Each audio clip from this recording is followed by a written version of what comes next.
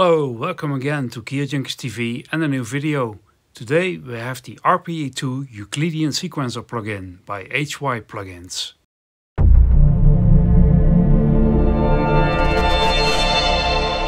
Well, the RPE2 is an instrument plugin and uh, you can use it in your DAW. But it does not make any sound, it's an 8-track MIDI sequencer. It has two different sequencer engines, Grid and Euclidean, and today I'm showing you the Euclidean mode. Also, uh, you can stay informed about all our videos by subscribing to our channel. Just click the subscribe button below the video and you can hit the bell button to get notifications when there's something new on our channel. I came across this uh, plugin when I was looking for software that generates Euclidean sequences. I will not go into too much detail here about what these are, but it is an algorithm that uh, uses the greatest common divisor of two numbers to place hits in a sequence as evenly as possible across a set timing division. So you set the number of uh, steps, as you can see here, uh, for your sequencer, and then the number of events to generate uh, a rhythmic pattern how evenly spaced the resulting pattern is uh, will depend on how neatly the step length divides by the numbers of events.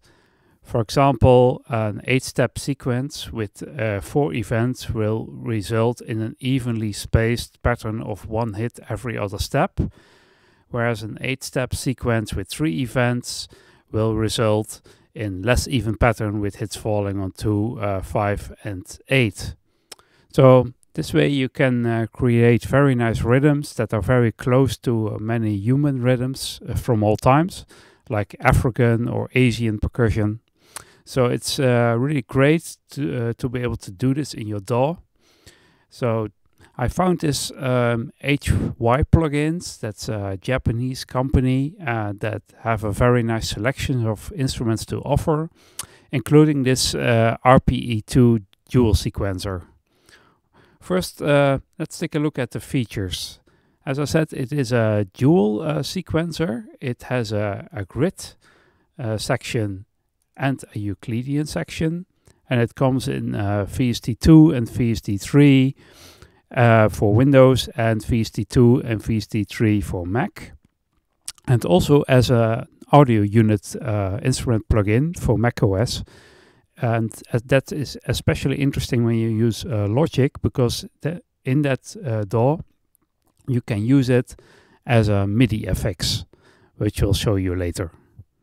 Um, it doesn't work with uh, with applications like GarageBand and uh, Reason, but uh, almost any other DAW, um, it works fine. So let's take a look at the features. there are eight um, uh, tracks for the sequencer.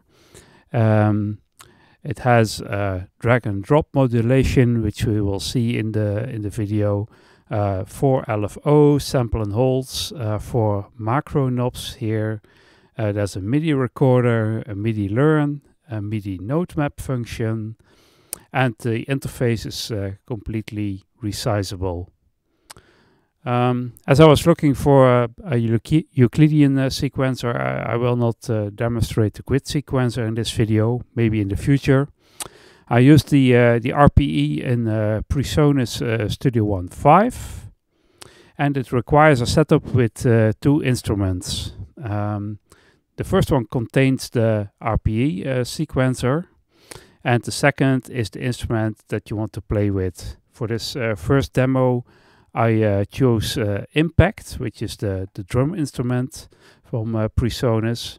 Um, it has 16 drum pads here that are assigned to MIDI notes and when I play them with notes they play the samples that I've loaded in there. Then uh, on the other track is the uh, RPE sequencer as we can see here. I'll switch it on like this so you can hear what, what this is doing. And before you can actually hear anything, you have to uh, go to the impact instrument and use the input, set it to the RPE2 instead of any other input that you uh, might uh, uh, use normally. So um, this way the MIDI notes coming from the RPE2 will uh, trigger the sounds of the Impact uh, plugin.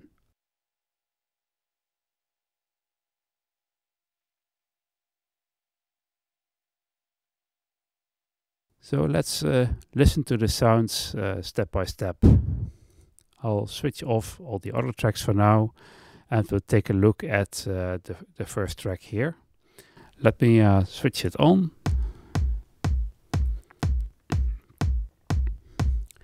Now, as you can see, we have the number of steps here and the, this are the amount of uh, triggers that it has to do within those steps.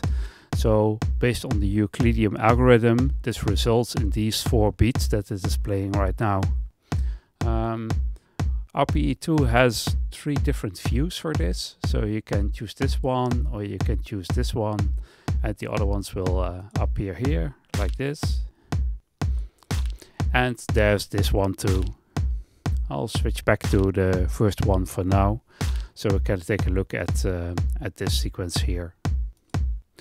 So first you have the mute and solo buttons. Uh, this comes in handy when you're using multiple uh, sounds at the same time. And over here we have all the parameters that belong to, uh, to this track. Uh, let's take a look at the pitch, uh, because this is uh, the MIDI note that controls the bass drum here play, playing on the C1 of the impact instrument. And when we change that, we can play different sound like this.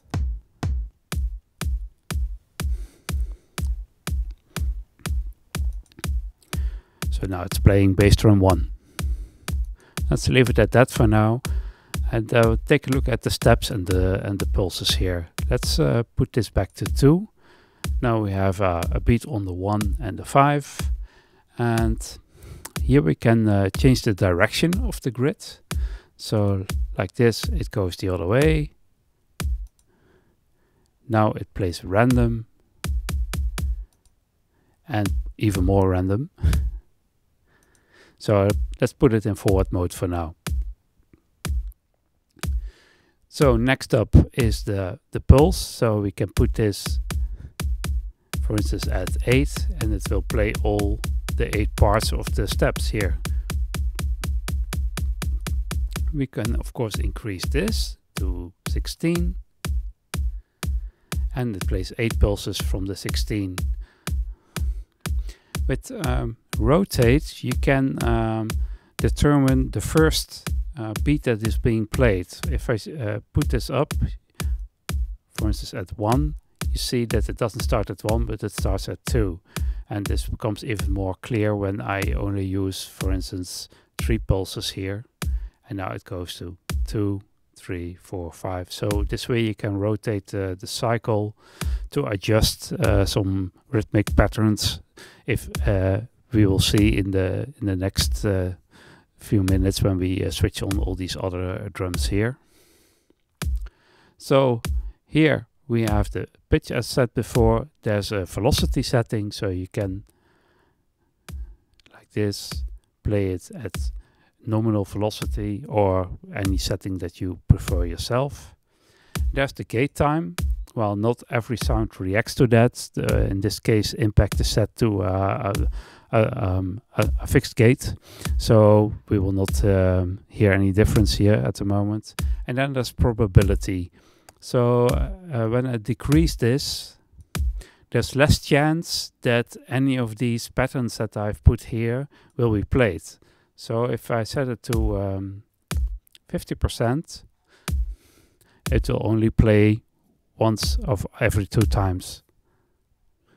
This can be nice to uh, create some variations in your pattern when you're uh, recording a complex uh, set of patterns. This is set to channel 1. Uh, you can uh, place it on any MIDI channel here. We leave it on 1 for now because that's the channel that Impact uh, is working on. And then we have the metronome here. Um, this changes the sync speed of the this specific track, so you can um, it, um, you can adjust it to uh, tri uh, triads or dotted or regular. So leave it at uh, speed 1 for now. And before we go to the uh, other tracks, I'll um, guide you through this section here. This is the the base division. So now it's uh, it's set to one eighth. Um, for instance, if you put it on uh, 16th, it will of course play twice the speed because uh, every 16th note it is triggered. Let's put it back at 8. So the same way that we had this uh, speed uh, uh, settings here, we also have uh, triads and uh, dotted uh, versions here. With um, restart you and resync, you can um, um, readjust it to the tempo of the DAW that it is playing in. This comes in handy when you, for instance, have made some changes here with the speed settings or with the randomness and um, so that it will not play exactly in the pace of the of the of the tempo that the DAW is playing in. Um, then you can reset it with this uh, function. Um, these are global parameters, so if you don't put anything here, it will ev play everything at 100 velocity. So I can put this down, and you can hear that the bass drum is going down. But for instance, if I, we play two drums, they all play at 17 and they will all play at 100 if I set it back to 100.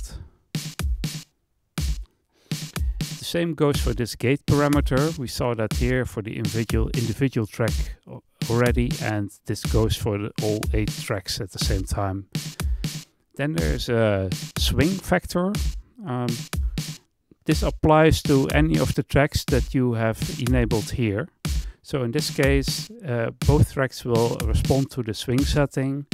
Um, if you switch some of them off, for instance, you don't want uh, the the bass and the snare to uh, to do the swing, but you uh, will will have to.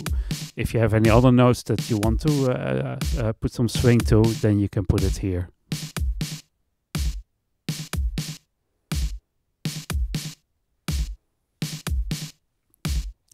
Um, humanize, this um, changes some of the settings, like slight timing variations and some of the velocity uh, settings as you play along. Uh, this way you get a more human feel of all the drums that are playing. We'll uh, show you how that sounds later when we have switched on all the all the drums here. And then there's reset. Take a look at this section, um, we have four LFOs here that you can assign to various parameters, which we'll take a look at in a moment. There are eight uh, macro slots. Um, so when you change these, you can uh, change any of the parameters here. And in this case, I have um, I have a little controller keyboard here that has eight uh, encoders and I've assigned all the encoders to this. So once we um, we have the pattern complete, we can uh, uh, yeah, turn some of these encoders to see what uh, what happens. And uh, finally, there's scale. Um, this sets the notes to a specific scale. Uh, it's it's switched off now because for a drum machine um, it would make much sense to uh, put the notes in scale. But uh, as we will see later on it comes in handy when you play for instance some uh, more melodic parts with it. So let's go back to the drums here. I'll um, set it to solo and I will switch on all the tracks. And now we can take a look at how they sound by switching on the solo buttons. So we have a percussion sound here, hi-hats, another hi-hats. Um, this is also percussion effects. And another one. And another one. So let's uh, take a look at the hi-hats here.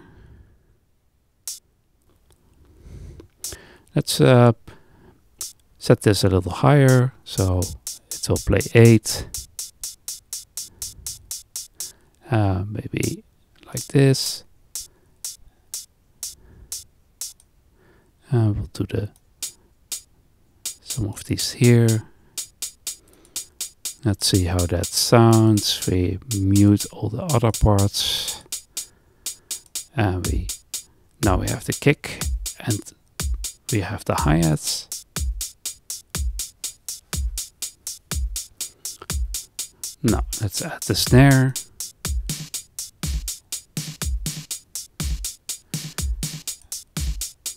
And now we uh, will add all the other effects.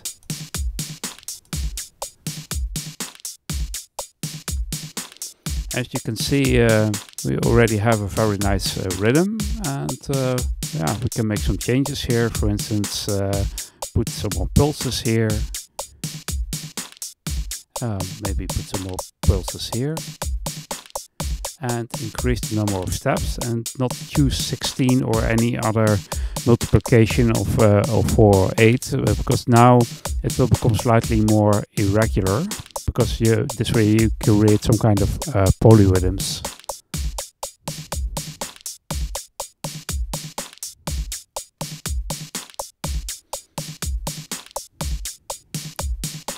Let me quickly um, check how the uh, sounds when I apply this.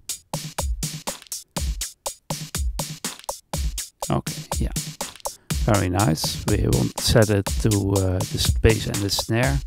I will put these at a bit higher velocity, like this.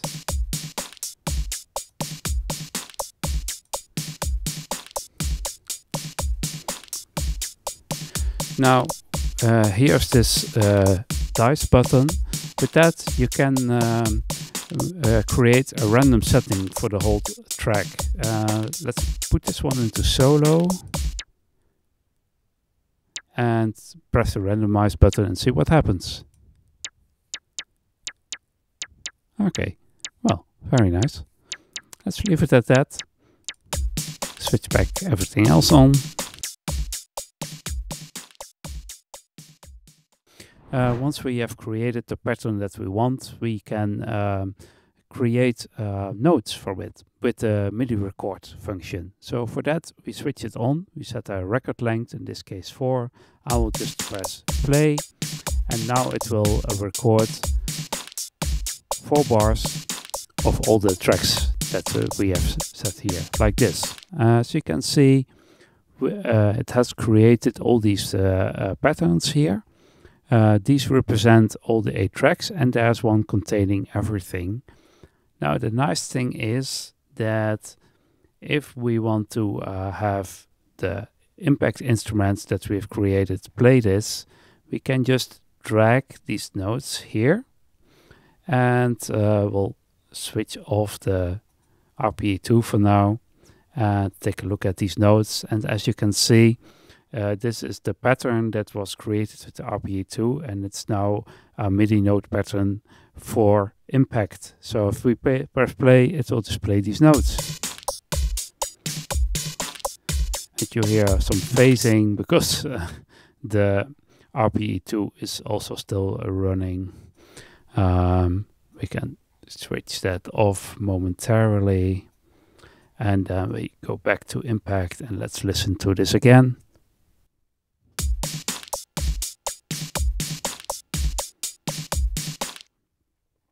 Of course, if you uh, don't want all the notes, but uh, just one or uh, some of them, you can just drag the separate patterns. We'll have the kick here and we have, for instance, the snare here.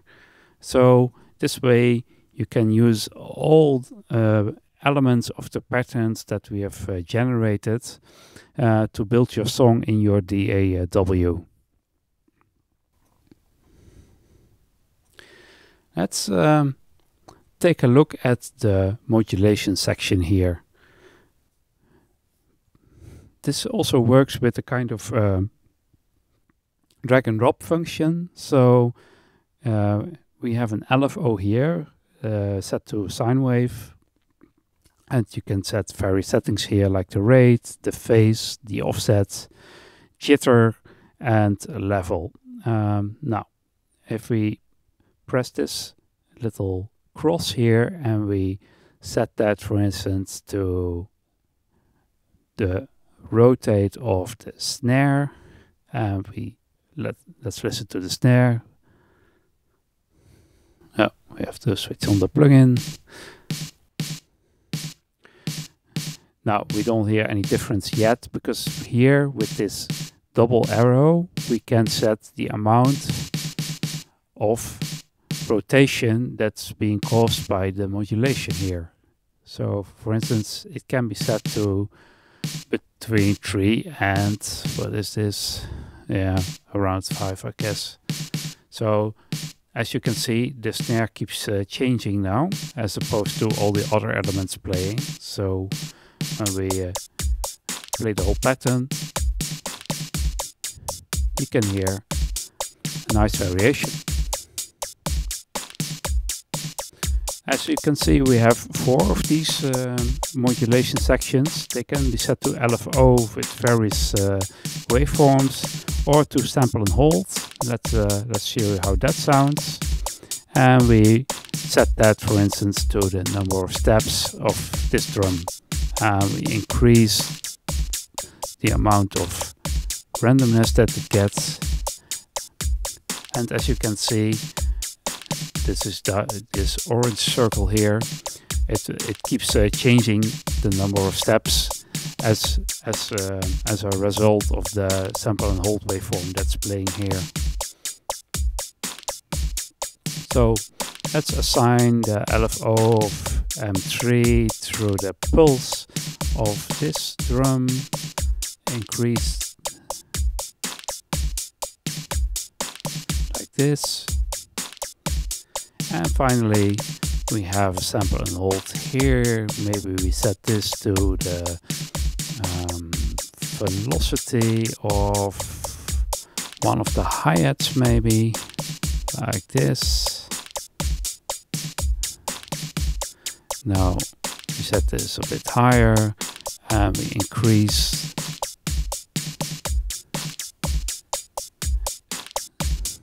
so now the hi-hat will uh, sound softer and harder according to the sample and hold pattern that's playing here.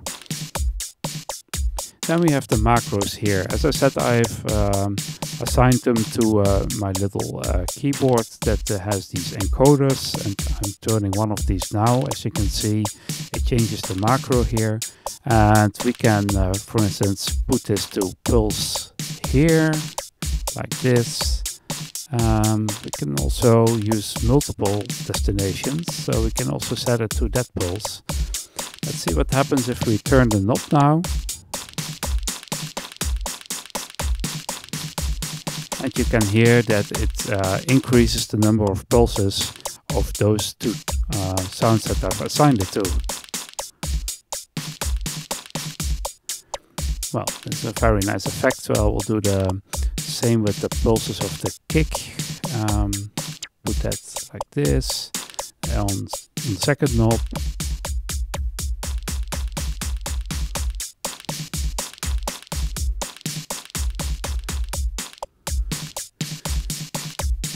So let's assign the third one to the number of, um, well, let's set it to um, pitch of this last drum and see where what it what it gives when we um, yeah change this knob. It will play a different drum because we will change the pitch.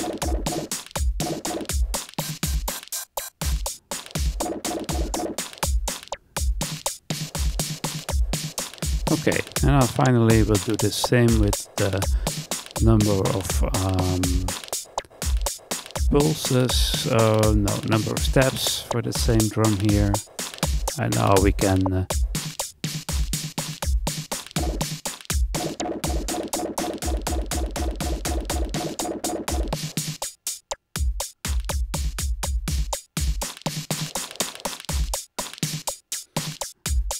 can see, this is uh, very nice for when you want to uh, do some live tweaking with the patterns you have created. Of course, it can record this, but you can also automate this. So if you uh, would record all the movements that we've just made in your DAW, it will play it back and the RPE2 will respond to it. There's another thing you can do. Um, there's a MIDI note map here, and this um, uh, you can set a certain uh, section of your keyboard to uh, to set the tracks to mute or solo. Um, this way, if you have MIDI input enabled on the RPE2, you can uh, mute and uh, solo several of the tracks at the same time by using the, the keys of your MIDI keyboard. So um, it it all uh, is quite an interesting rhythm that we created here. You can of course save it and it uh, gets stored into a section of uh, patterns and you can uh, um, reload it from there. Um, we can see above here, we can also initialize the pattern so you can uh, uh, create one from scratch. And this is a MIDI through function. So with this set on uh, and MIDI input enabled from a controller, it will enable you to play back the sounds from the instrument that you're uh, uh, controlling with the RPE2, also via the keyboard. Of course, the RPE2 is not limited to uh, to uh, software uh, instruments. Um, if you set the destination to be, for instance, a MIDI hardware device like um, uh, maybe a drum module or even a synthesizer, you can also use this software to control that uh, from your DAW. Of course, you can uh, use Euclidean sequencing for other sounds than uh, percussion. And the uh, RPE2 has several functions that can help you with uh, generating nice melodies. Uh, to show you that, I've set up Logic Pro X with an audio instrument, in this case the modeling synth Sculpture. I've chosen uh, electric grand chorus, piano-like sound, and um, you can use RPE2 as a MIDI FX plugin on this. So let me show you how the piano sounds.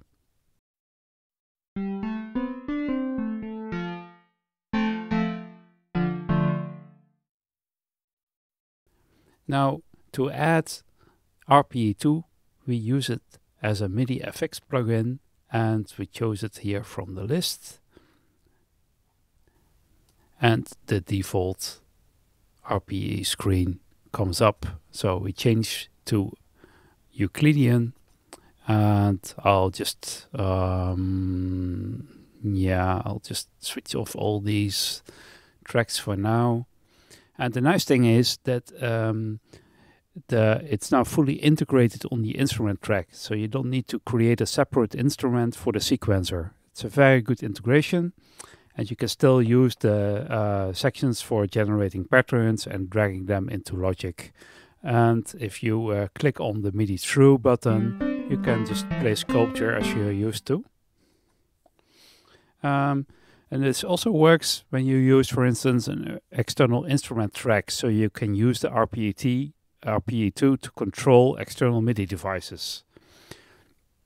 So now let's uh, build up a, a, Euclidean sequence using uh, notes. Uh, for that, I'll uh, bring down the the tempo to one half, and we'll just press play to play the first notes.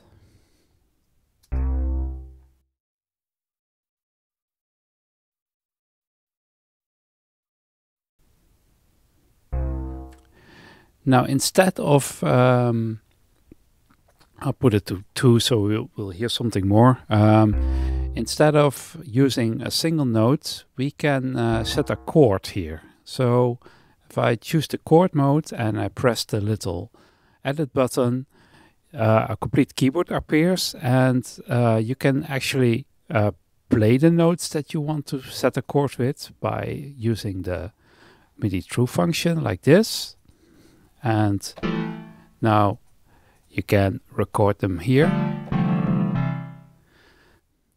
But it's also possible to uh, generate. So I'll switch this off for now and go back to the editor.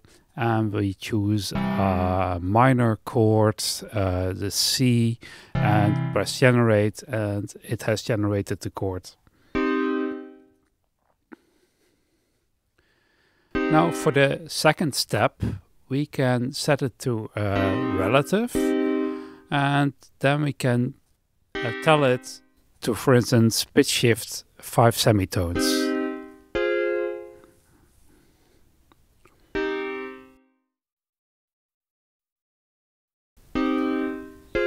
Let's bring up the gate a little bit so I have slightly more decay. Like this. And we can put the pulses to a little bit more. We go to track 3 and we set it relative to minus 2. Let's see what it comes up with.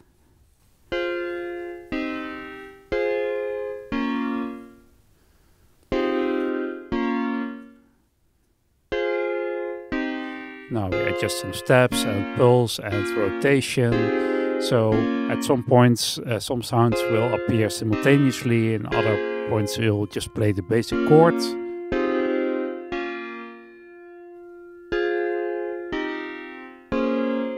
We can also choose uh, an octave. So for instance, we could go down 12 notes here.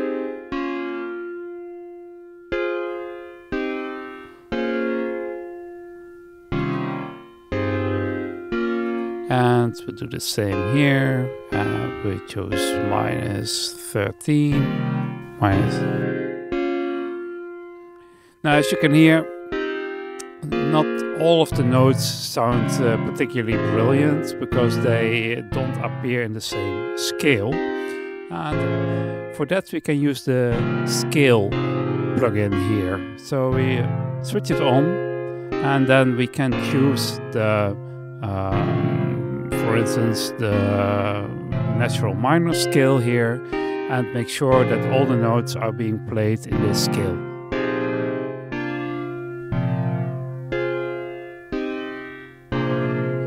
We can increase the speed.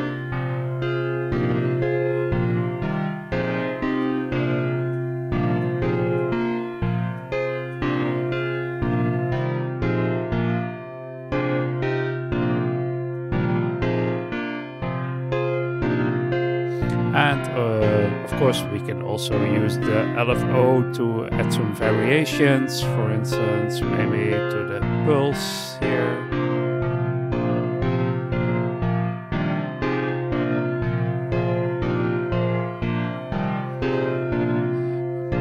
Now let me change the basic chord here and just let it play C1, maybe a C2 the rest is still relative so they will just play along with uh, the basic note that we've set here. And the scale is also still intact but we can also uh, do um, a root shift um, maybe go to D. And we'll maybe add another note uh, do this random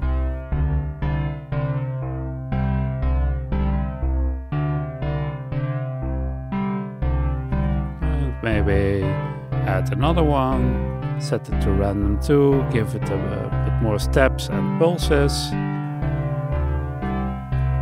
like this. And we, then we just decrease some of the probabilities. So the melody will keep changing without sounding the same the whole time. Uh, can go an octave up here.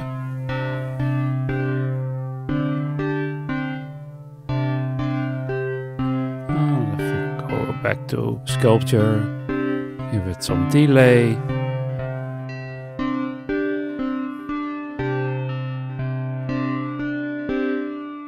So now we have created a very nice melody using Euclidean sequencing.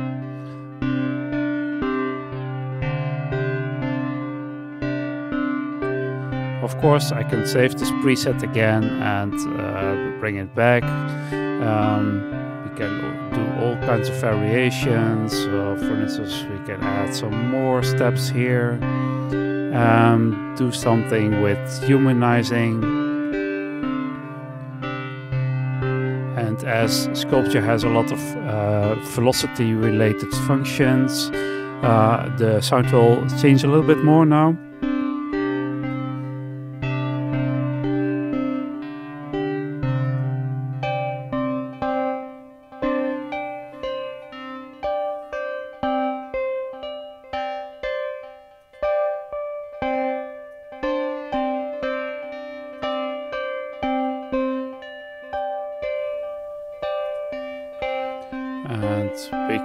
Crazy by going back to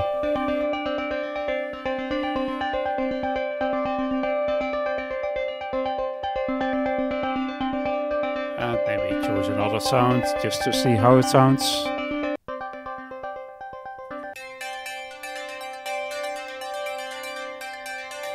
maybe choose uh, one of these yeah.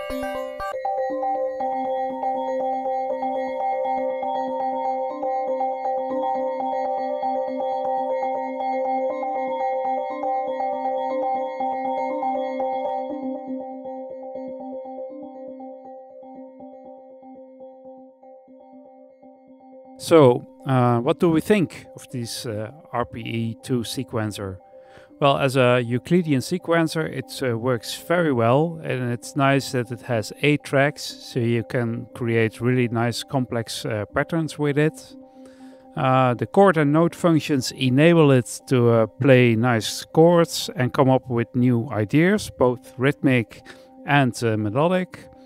It syncs well with your DAW, and it offers uh, lots of real-time manipulation with uh, the LFO and uh, macro knobs.